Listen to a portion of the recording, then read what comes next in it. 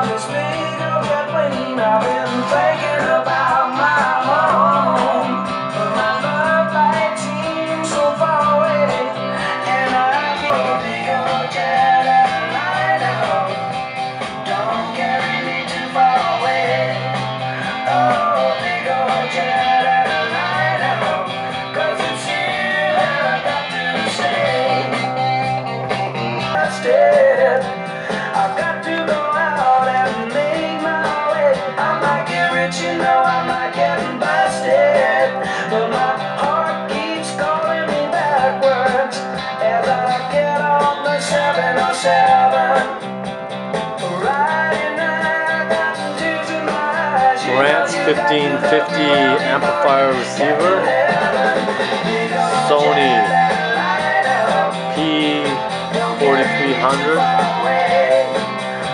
S turntable, direct drive turntable. Sansui kick-ass speakers.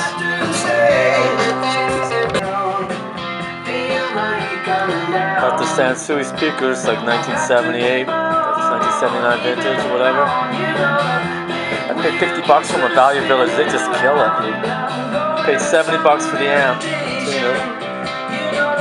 And the most expensive thing I bought was a stylus for a fucking turntable.